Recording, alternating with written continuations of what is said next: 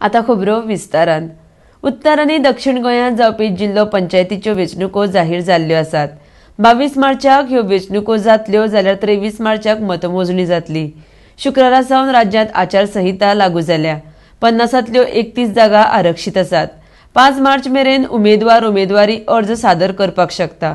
स मार्चाक उमेदवारी अर्जाची छाननी जातली. सात मार्च मेरेन उमेदवारी अर्ज फाटीं घेवपाची निमणी मुदत आसा. RDX Goa bureau report. Jilla Panchayat of South Goa and a separate notification of North Goa will be held as per following schedule.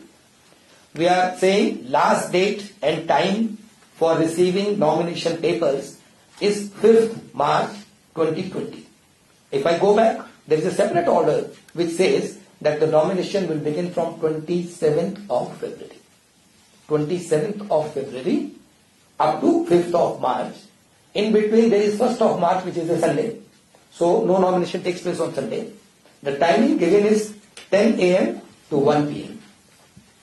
So I will repeat from 27th Feb to 5th of March the nomination will happen. Last date is 6th March. Then on the next day 6th March there will be scrutiny of nomination papers filed from 10 a.m.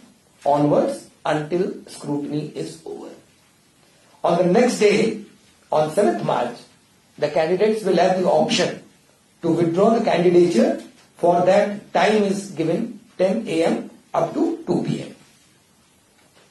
Poll will be held on 22nd March and the timing duration will be from 8 a.m. to 5 p.m. And the counting of votes shall take place on 23rd March, the very next day, from 8 a.m. onwards till the counting is completed. We have appointed 15 returning officers. And the deputy collectors are the returning officers. Six officers are there in North Goa and there are nine officers in South Goa. Deputy collectors invariably are the ROs and their Mamlatdars are the AROs. North Goa has got an electorate of 4 lakh 18, 418 225. 4 lakh 18,225.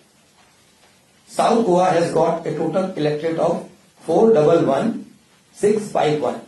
4 lakh 11,651.